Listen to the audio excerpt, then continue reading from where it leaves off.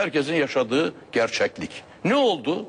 Yüksek Seçim Kurulu 12 milletvekili, bağımsız milletvekili adayının dosyalarında eksikler var diye yani sabıka kayıtları çıktı diye adaylıklarını geri çevirdi. Bunların içinden yedisi PKK'nın yandaşı olan partinin desteklediği adaylardı. Beş ise başka bağımsız adaylardı. O beş bağımsız adaya kimse sahip çıkmadı.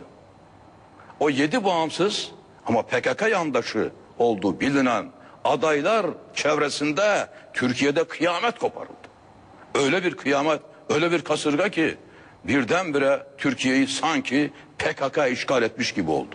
Bütün televizyon kanallarında eskiden Marksist-Leninist çoğu, Maoist, Stalinist, Troçkist olan şimdilerde hepsi pür liberalizme soyunan ama liberalistlikleri de ancak suçluyu savunmak anlamında liberalizm olan bir takım insanlar televizyonlara akın ettiler.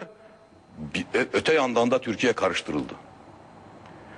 Türkiye karıştırıldı ve ayaklanma provaları başladı ve sonunda da bütün bu baskılara sokakları yaşanmaz haline getiren ülkeyi karmaşaya sokan bu baskılara boyun eğildi ve ne oldu ne bitti perde arkasını biz bilmiyoruz ama olana bakın baskılar sonucunda Türkiye büyük bir psikolojik darbe daha yedi ve sonunda Yüksek Seçim Kurulu yol buldu, dosyalar tamamlandı ve bir galibiyet daha aldı böl- bölücülük.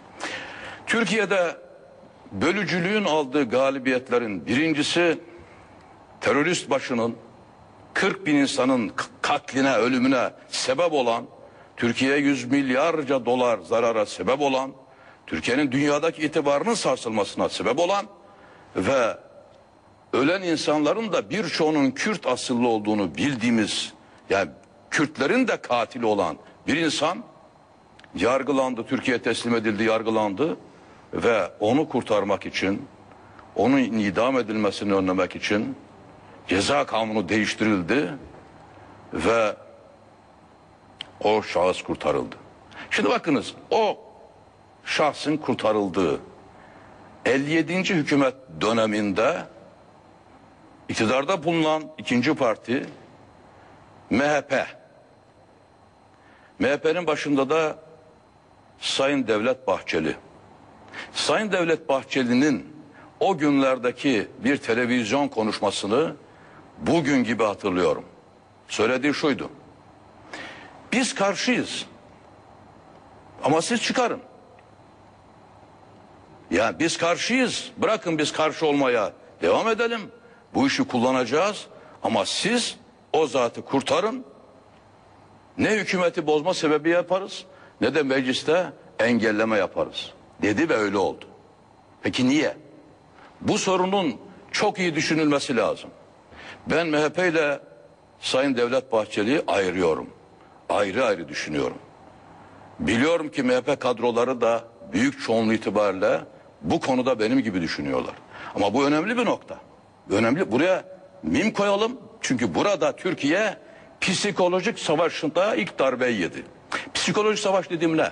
Yani Güneydoğu halkımız da bütün halklar gibi kudret sahibi kim, otorite kim de, kim galip diye bakar.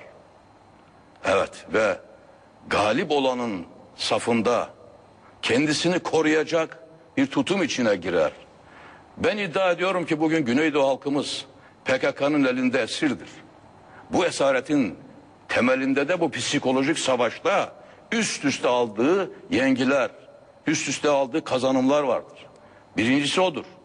Sonra ne oldu? Sonra bu iktidar geldi ve bu iktidar döneminde yapılan her şey PKK'nın önünü açmak için oldu sanki. Yani şimdi hep birlikte hatırlayalım. Bir Kürt açılımı diye mesele çıkardılar. Ama görüldü ki bu Kürt açılımı değil PKK'nın ülkeye saçılımıydı. Yani ha buradan zafer işaretleriyle giren, üniformalarını bile üzerlerinden çıkarmayan insanların önüne yani terör örgütü mensubu olduklarını gizlemeyen Dolayısıyla suçlu yani bir terör örgütünün mensubu olmak zaten başlı başına suçtur. Ama gizlemeyen insanların huzuruna, ayağına yargı erki gönderildi. Hakimler, savcılar gitti ve anında onların ülkeye rahatça girmeleri sağlandı, beraatleri sağlandı. Bu Türkiye'nin aldığı çok ciddi ikinci darbedir. Ve bu darbenin müsebbibi de bu iktidardır. Peki. Bir